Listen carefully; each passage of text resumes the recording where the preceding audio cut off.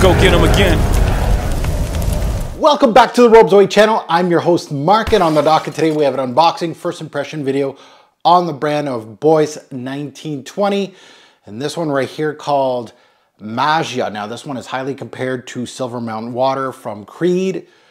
Mm, in my personal opinion, uh, one of the better Creeds, probably most notably, it's gonna be a top 10 Creed for me. Um, I don't think it'll creep into my top three, but I really do like Silver Mountain Water. Um, this used to be part of the youth collection. They got rid of that. And I'm seeing that this perhaps is a discontinued release from the brand. Um, so I'm kind of late on this one, but we're gonna see what this one is all about. And, and of course, you know, the ones that are really into this brand, you can comment below and let me know, no, you're wrong, Mark, it's not discontinued, it is available. Um, I don't like to throw out propaganda like that, but um, I, I, do see it. I think it was Parfumo, uh, the website that had this discontinued. So perhaps it is, perhaps it's not. Um, if you haven't subscribed yet, what are you waiting for? Hit that subscribe button, smash the like button, much appreciated. Uh, thank you very much to the fragrance community that does support me.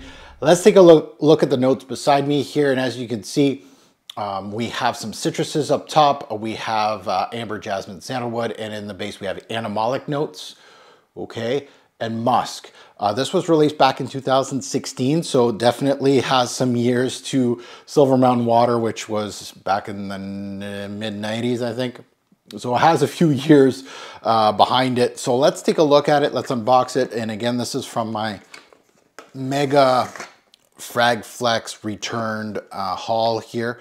Um, and it's been a while since I've spoken about this brand. The last one I spoke about was Sushi uh, Imperiale, which was an excellent release. But after that, it was kind of crickets on my channel. So it's nice to, um, you know, kind of bring me back to a brand like this and, and delve into it. it. It's almost like a brand that I, it was one and done for me. Um, so I see my packaging is a little different from who's reviewed that I think it was like Freddie or something like that, that I like back in the day that reviewed this, and the packaging um, was different. It was from the youth collection. I think they removed that and kind of reboxed this one. So it looks a little different. It's got beautiful wooden cap. Obviously doesn't have much weight to it. So it's nice wooden cap. It has the name of the brand and the bottle, very nice clear bottle. Mine, uh, the Sushi Imperiale is a frosted glass. So let's delve into it. Let's see if it's Silver Mountain Water-esque.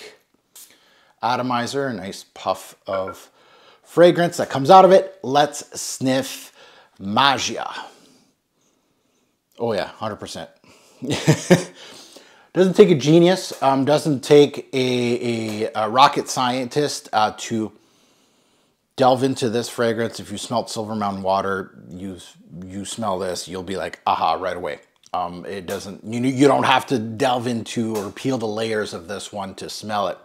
Um, so talking about delving into it and trying to peel the layers, um, solid orangey note. Um, so I am getting that mandarin orange more than the bergamot, but it does have a little bit of that bergamot. But jasmine is very much primary in here.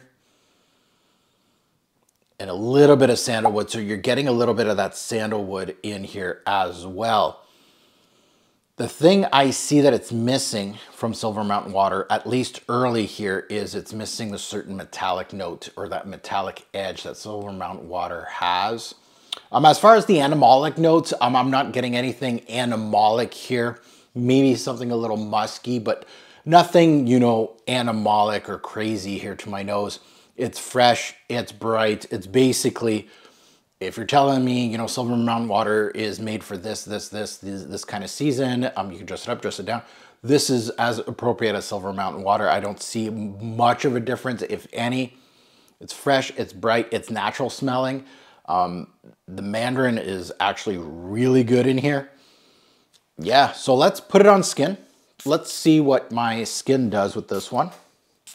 Different than the, of course, the little strip. And you never know, right? Um, it can be night and day. Oh no, this is this is gorgeous. Um, sometimes with with strips and my skin, it's like night and day. Uh, my skin kind of brings out certain things, and then and the strip does something else. So you always want to spray it on skin personally because you're not going to be carrying this around uh, while you're wearing a fragrance. So Yeah, so a little less bright than this one. The mandarin is definitely your primary citrus in here uh, against the bergamot. Um, I am getting a, an ambery glow more on my skin than I did on the strip. Actually, I didn't get any on the strip. Jasmine is definitely primary, but it's sharing with the amber a little bit of sandalwood and some musky. Um, there's nothing animalic. As far as the animalic notes, that's probably the bottom of the totem pole right now. So at the end of the day, I really like this one. I'm fresh, invigorating, um, all that good stuff. Now, to the elephant in the room, the Silver Mountain Water comparisons, all that. Um, and again, I don't, you know, I'm not putting my stamp of approval that yes, this is discontinued. It could be. Um, if it is, then forget about it. Honestly, unless you're a big fan of Silver Mountain Water, this will probably be, if it's discontinued, way harder to find. Um, when you do find it, people are going to be asking for a premium of it. So Silver Mountain Water and this, as far as price points, uh, almost null or uh, not really. I guess you could get this one a little cheaper if you can find it. It's not the exact same. Um, like, you know, when I say fragrances are like close cousins, they're not, they're in the same family, but they're not related, uh, like immediate family, you know, cousin. Um, this is more like a brother to Silver Mountain Water. Like it's that close. Um, it's not a cousin, it's a brother. It's that close. It has its, and this is again, just on opening. This is an unboxing video, right? I'm not talking about longevity, projection. I'm not talking about development on this one. There's not much development to be said in an unboxing video unless something starts morphing into the five minutes that I have it while I'm on screen with you. In my opinion, if you already have Silver Mountain Water, it's a redundant uh, purchase It's pretty straightforward. Um, you know, I'm not going to sugarcoat it. I'm not here to influence you. Um, as far as quality goes, I'd say they're on par. I'm not going to say this one's better than the other.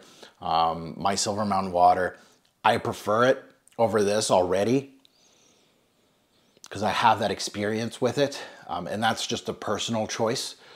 However, it's nice to have it in the collection, but kind of redundant, right? It's not like if I feel like wearing Silver Mountain Water, I'm going to go with Silver Mountain Water. I'm not going to go with this unless this shows me something different that I personally like.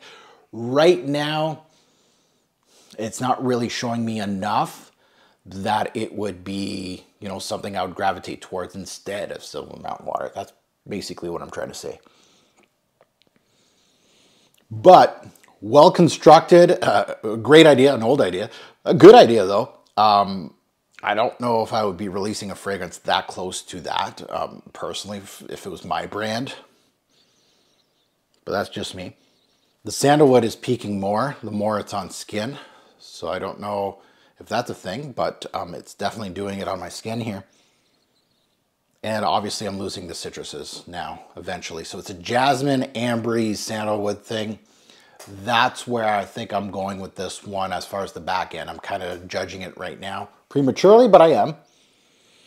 Now you can find this one at fragflex.com. Again, you can find things that are discontinued and it's on its last leg on these discounters and then once they're sold they're sold basically um, you can use my code tfg10 get 10% off on anything on the website um, this is a brand that i've been meaning to delve more into there's a there's a few on my hit list, and again, my, my wish list of sampling or purchasing is just out of control. It's bigger than my actual collection, probably five times bigger. That's how crazy it is, and there is several from this brand. This was not even on my radar, honestly. Um, happy to have smelt it. Now I have that experience and moving on, basically.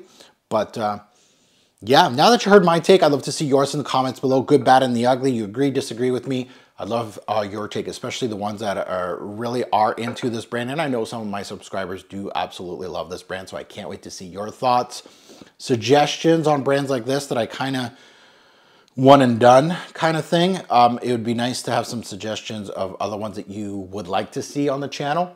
And it may correlate with my taste and I may get a little sample and try them out. But yeah, the standalones, I think one that's really popular from this brand is Real Patchouly, I think is the one that it is on my hit list, but I think I recall you know, I think it was Rich Mitch that was saying that they changed it from an eau de toilette to an EDP, and it's not the same.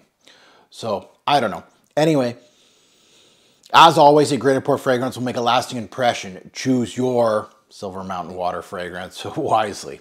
Thanks for watching YouTube. Have a good one.